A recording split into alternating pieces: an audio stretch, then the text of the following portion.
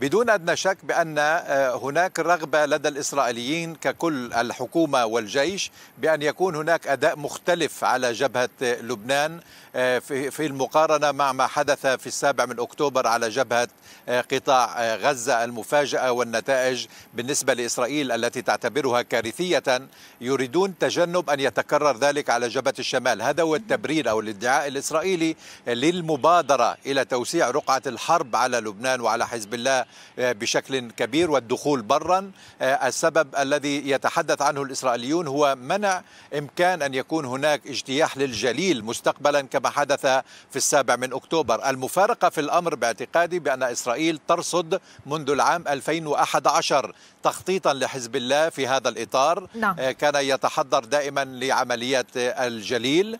وبالتالي فوجئت في الجنوب استنسخ الأمر إلى جبهة الجنوب وفجاتها حماس تماما في السابع من أكتوبر وعليه عادت إلى الخطة الأصلية وهي مواجهة خطة حزب الله كما تقول لاجتياح الجليل واحتلال القواعد العسكرية والمستوطنات بقوات هي أضعاف قوات حماس عمليا من حيث العتاد وعدد القوات التي لدى حزب الله.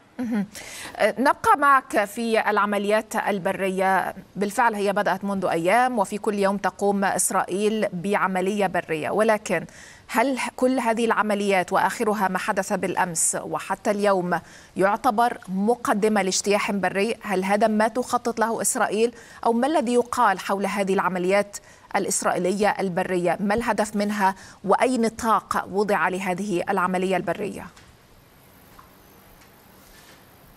فكرة الاجتياحات التقليدية انتهت. الآن يحاربون بطرق أخرى ويحاولون تغيير التكتيكات المتبعة والمتوقعة في بعض الأحيان. بمعنى إدخال دبابات كثيرة تكون عرضة لاستهداف بصواريخ الكورنيت كما حدث عام 2006 هذا آخر المشاهد الذي تريد إسرائيل أن يرى في هذه في هذا الهجوم. ولهذا اختارت العكس. تدخل أعدادا كبيرة من من الكوماندوز الإسرائيليين في محيط القرى. لا تدخل كثيرا في القرى. حاليا وتحاول أن تدمر كما تقول انفاقا تكتيكية هجومية تابعة لحزب الله في المنطقة الحدودية ومحاولة إبعاد قوات الرضوان إلى شمال الليطاني من خلال الضغط العسكري. بهذا المعنى لن نرى اجتياحات كالتي كنا نراها مئات وآلاف الدبابات تدخل دفعة واحدة لكن هناك قوات كبيرة جدا تدخل في هذا الإطار بحذر وبطء حاليا. هذا الأمر لم يتغير. بالأمس كان هناك تطور أيضا حدودي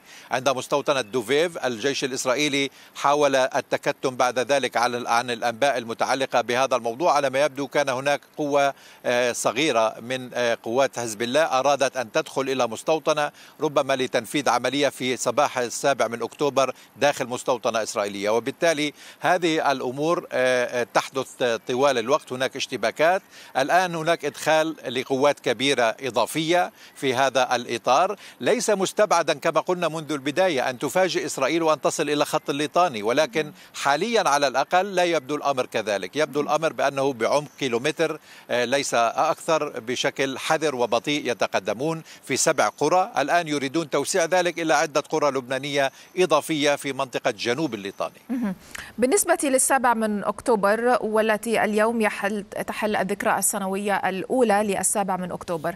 ما هو المشهد في الشارع في إسرائيل؟ وهل ما زال هناك التفاف حول استمرار هذه الحرب؟ بل وامتدادها أيضا لتشمل ناحية أخرى من إسرائيل جبهة أخرى من إسرائيل وهي الجبهة الشمالية.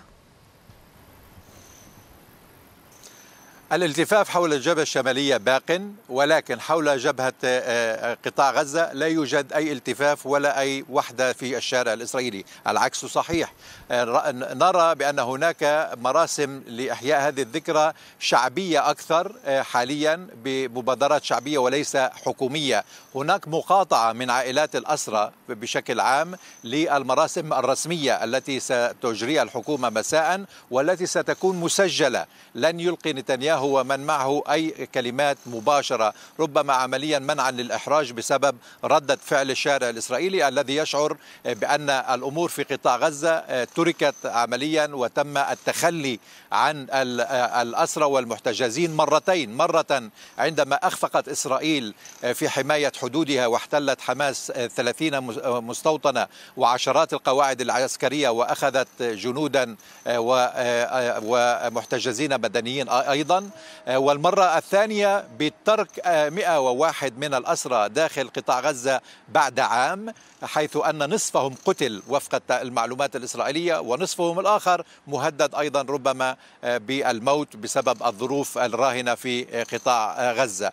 وبالتالي هذه هذا الجدل ما يزال محتدما كثيرا في إسرائيل خلافا للجبهة اللبنانية التي لا نرى فيها هذه الانقسامات. بالعكس هناك اليسار يبدو أكثر يمينية من اليمين عندما يدعو إلى تعميق الحرب على لبنان وخلافا لما يحدث في قطاع غزة هناك دعوات متواترة للذهاب إلى صفقة بكل ثمن وبإنهاء هذه الحرب. رأينا إسرائيل بعد عام كامل على السابع من أكتوبر تعيد احتلال شمال قطاع غزة.